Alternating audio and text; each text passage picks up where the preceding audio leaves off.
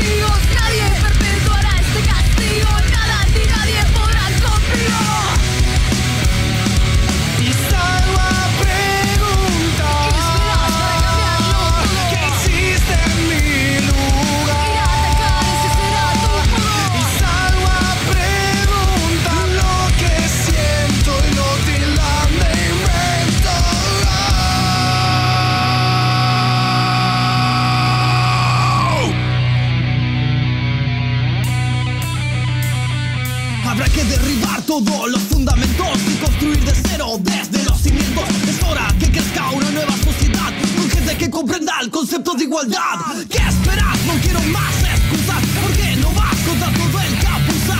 ¿Qué esperas para cambiarlo todo? Ir a atacar ese será